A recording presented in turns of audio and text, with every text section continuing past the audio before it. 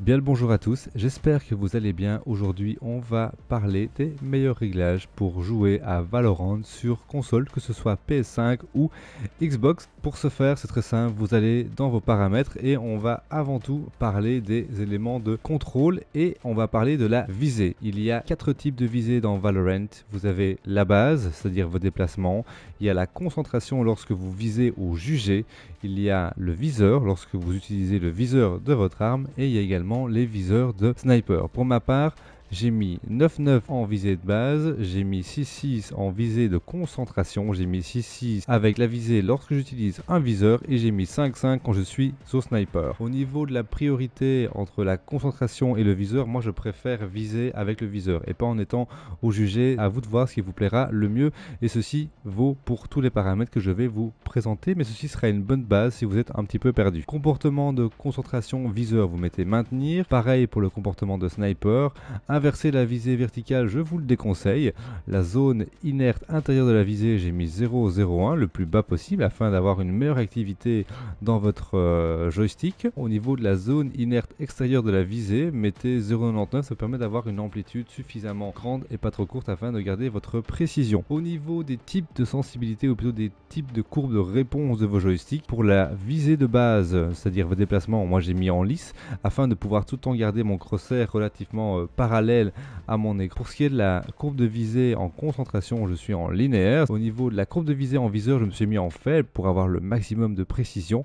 Et au niveau de la courbe de visée sniper, je suis en intermédiaire afin de pouvoir aller un peu plus vite et tenter un maximum de quick scope. Pour ce qui est des déplacements, alors ici vous avez à chaque fois sur tous les paramètres bascule ou maintenir.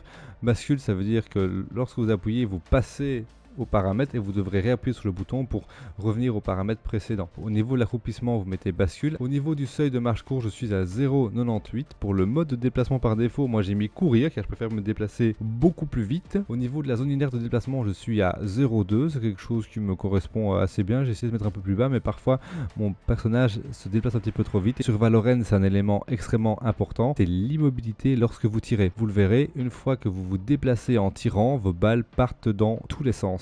En ce qui concerne les paramètres avancés, je vous conseille de mettre en, premier tous ces paramètres suivants qui vont convenir, je pense, à la majorité des joueurs. Changement d'arme, vous mettez appuyer pour secondaire, comportement de l'arme secondaire, maintenir, équipement rapide d'armes de mêlée, vous mettez oui, afin de pouvoir passer au plus vite sur votre couteau pour vous déplacer plus vite, zone inerte des touches L2, L2, vous mettez au plus bas pour avoir la meilleure réactivité, comportement de pause et désamorçage lorsque vous jouez au mode non classé, donc avec la pause de spike, en gros c'est du recherche et des destructions, je vous invite à mettre maintenir, vous avez après priorité d'auto-équipement, vous mettez l'arme la plus puissante. Indicateur de posture, ça c'est à vous de voir. Marcher pendant la concentration, moi j'ai mis non, comme ça je garde mon momentum par rapport aux ennemis. Vibration, je les ai enlevés car vous perdez en précision. Au niveau des touches, car vous pouvez customiser toutes vos touches comme vous le sentez. Extrêmement important, votre réticule. Vous devez l'avoir le plus petit possible et le plus précis car dans Valorant il y a énormément de tirs au jugé. Vous n'aurez pas constamment le temps de viser, vous devez pouvoir placer votre crosshair directement sur la tête d'un ennemi. Et pour ce faire, je vous invite à choisir soit une croix toute petite ou alors un rond tout petit et vous pourrez mettre la couleur que vous voulez. Moi personnellement je choisis le blanc car ça ressort par rapport à toutes les différentes couleurs qu'on peut voir sur la map mais vous pourriez mettre du cyan ou du violet par exemple. Je vous mets les paramètres ici que vous pourrez recopier afin d'être à l'aise.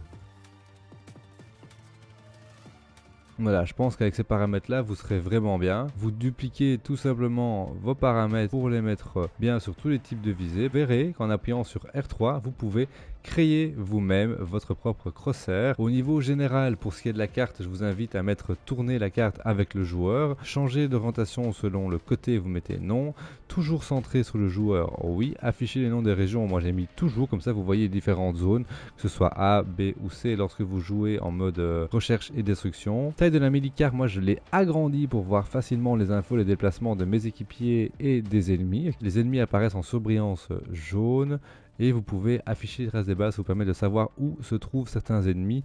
Afficher des astuces pour débutants, moi je les ai enlevés pour ne pas encombrer mon écran d'informations et ma langue le français. Pour ceux qui souhaitent afficher euh, les images par seconde, le refresh du serveur et ainsi de suite, vous n'avez qu'à passer les différents paramètres des statistiques en texte. Vous pouvez également voir le graphique mais ça va vous bouffer de l'espace sur l'écran et on veut pouvoir avoir une meilleure lisibilité sur le jeu.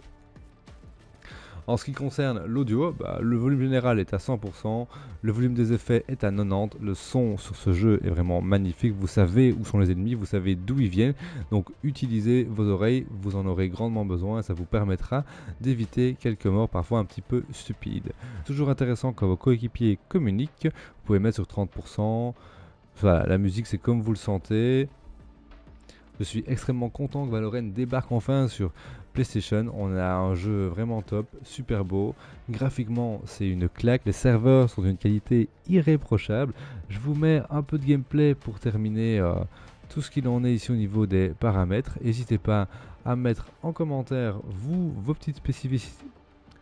N'hésitez pas à mettre en commentaire vos petites spécificités au niveau de vos paramètres et de la manière dont vous jouez au jeu. On va on va prochainement arriver avec une autre vidéo expliquant les différents agents, les différents modes de jeu, comment progresser au mieux et quels sont le top 5, top 10 des meilleures astuces pour débuter sur Valorant qui est un, des FPS les plus exigeants que je connaisse jusqu'à l'heure actuelle. Sur ce, j'espère que la vidéo vous aura plu. Je vous dis à très bientôt dans une prochaine vidéo. Plein de bisous. Ciao ciao.